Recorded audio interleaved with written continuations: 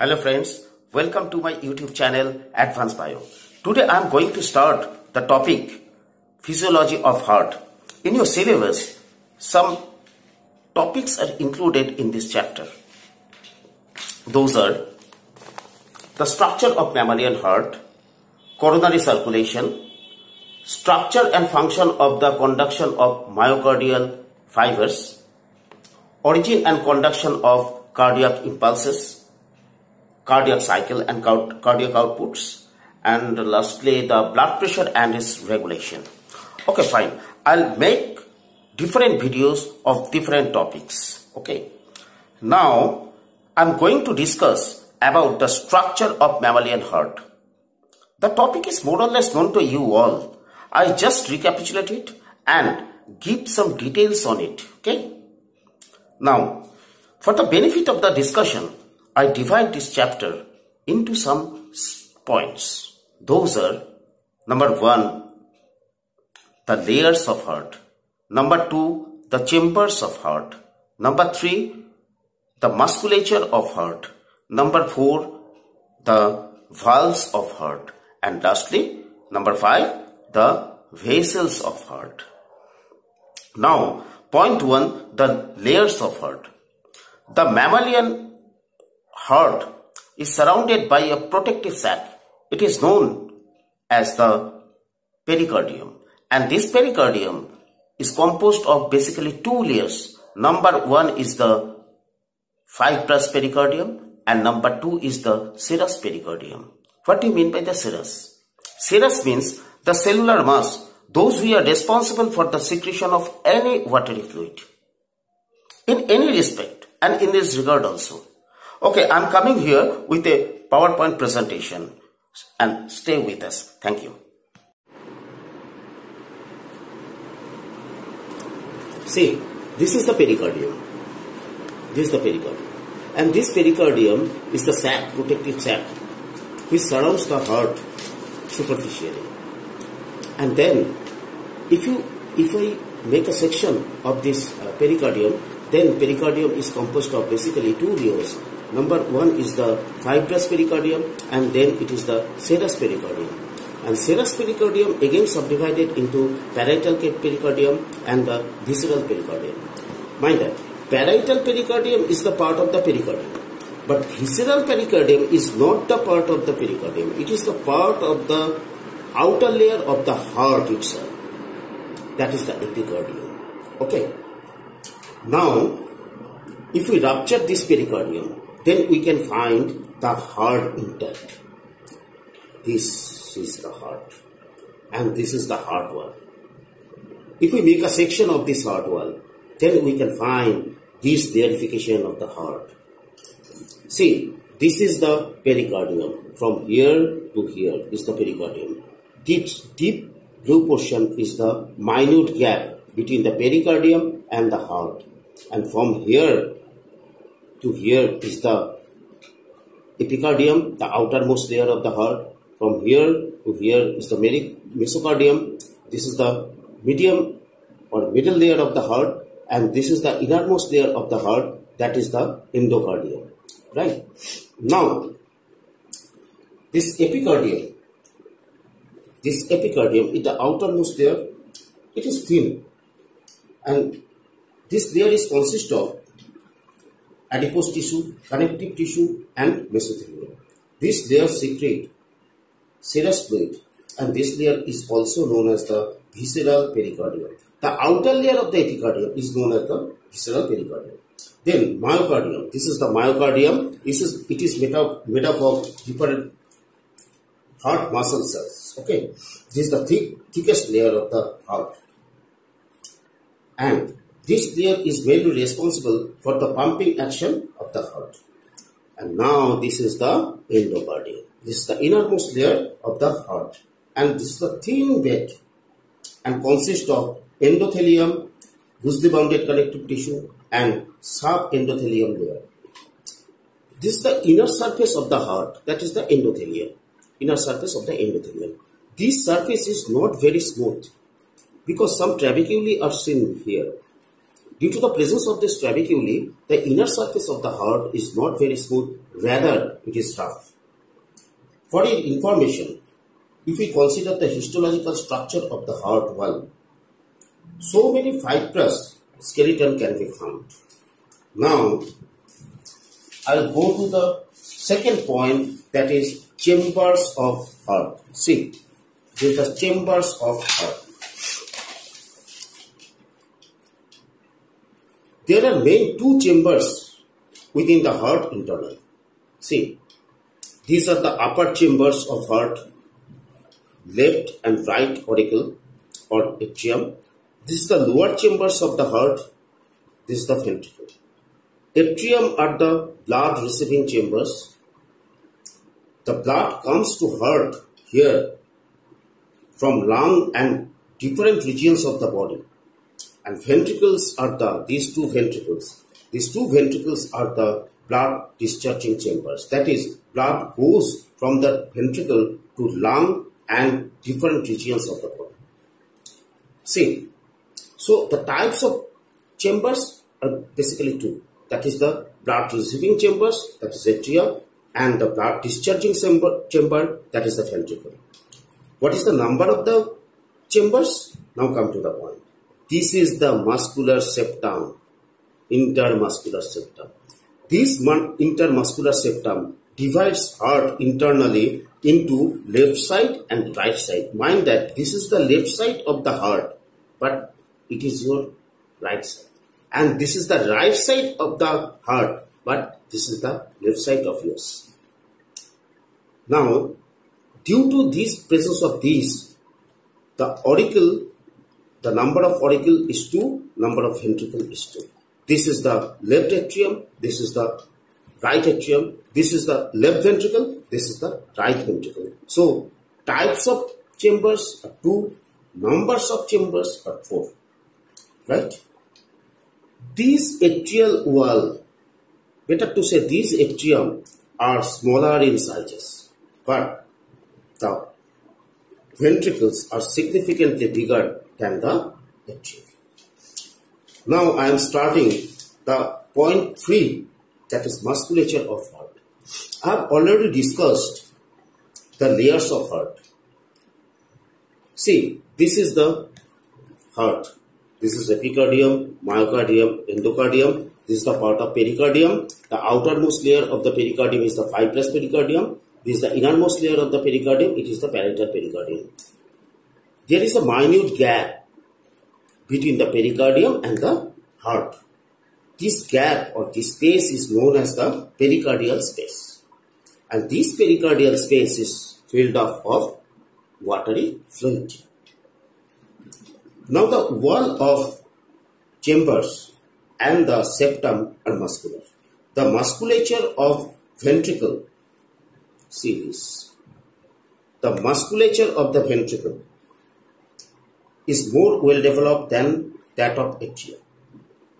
Now, another important thing is another important thing is the papillary muscle. Mind it, papillary muscle. These are the papillary muscles. See, these, these, these. One, two, three, and here one, two. Actually, papillary muscles are the muscles located in the ventricle of the heart. This is the ventricle of the heart. These are the auricle. And there are five total papillary muscles in the heart. Three in the right ventricle and two in the left ventricle. Papillary muscle remain attached to the atrioventricular valve.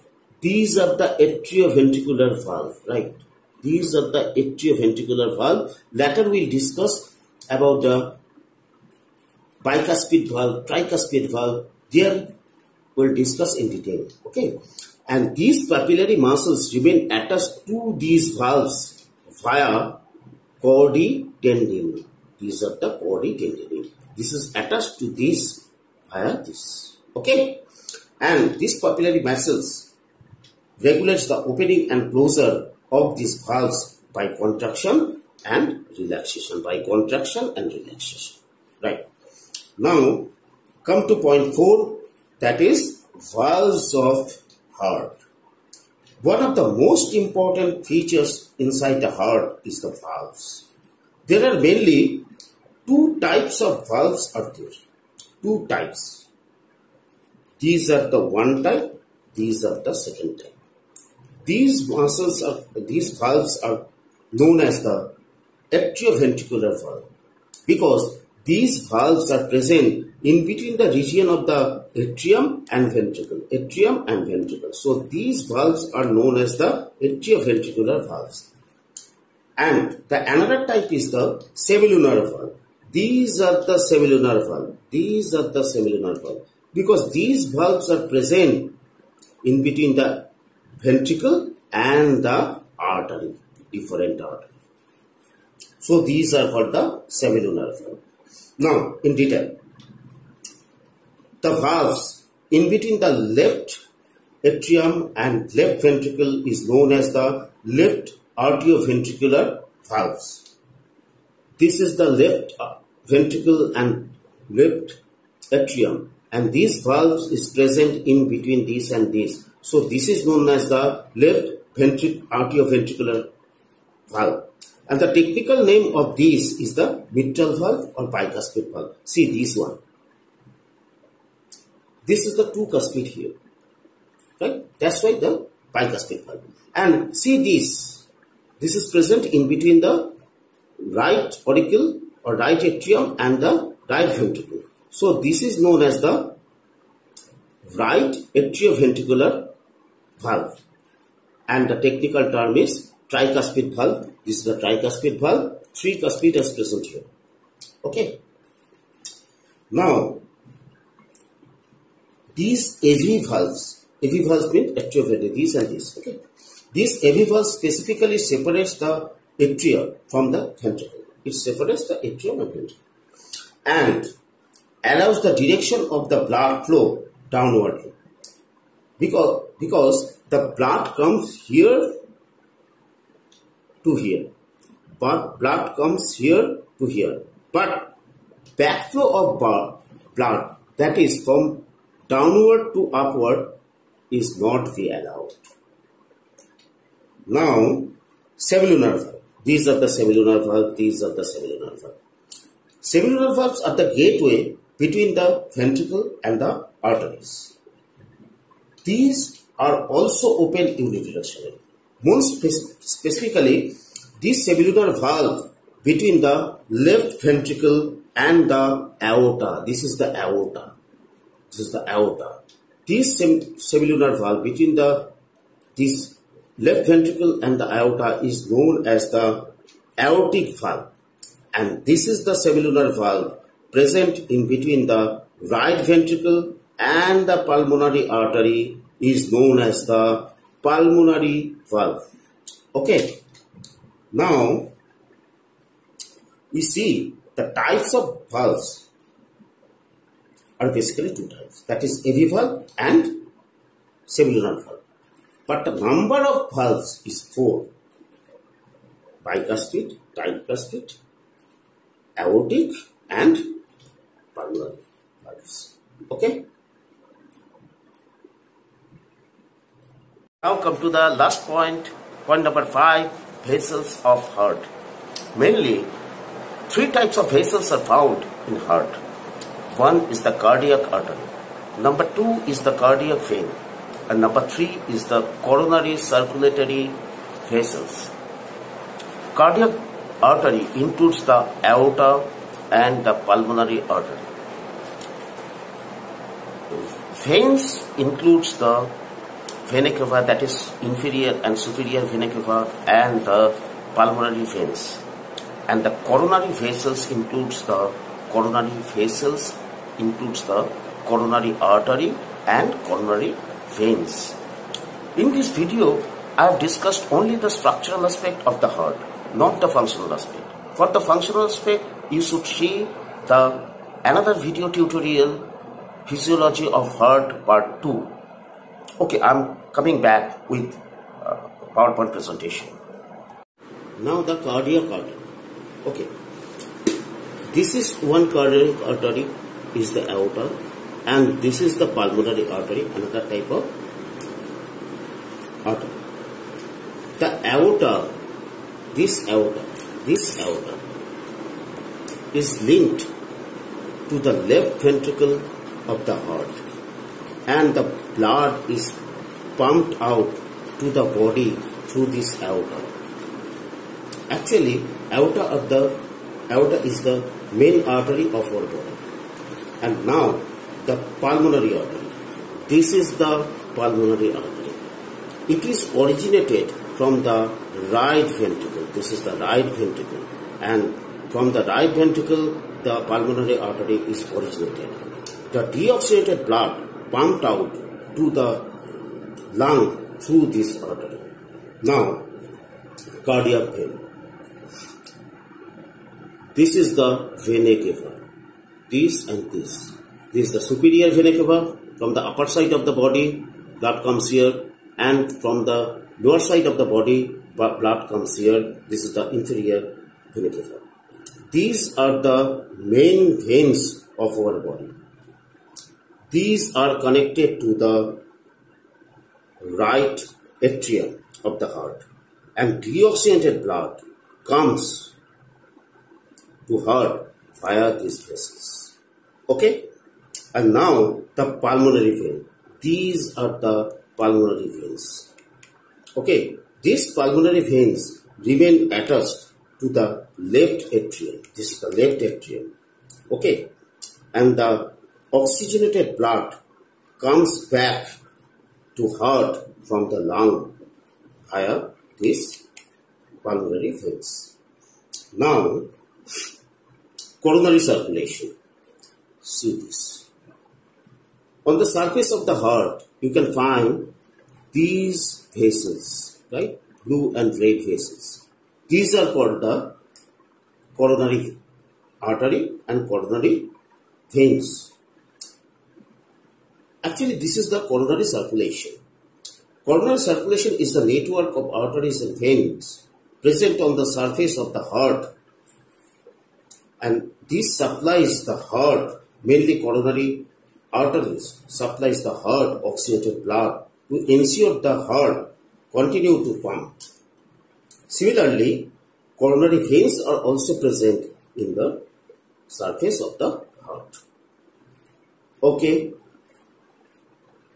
I discussed the coronary circulation in detail in another video tutorial, Physiology of Heart Part 3. You should see that video for better conception. Okay, lastly it should be mentioned that the cardiac conduction system. What is it?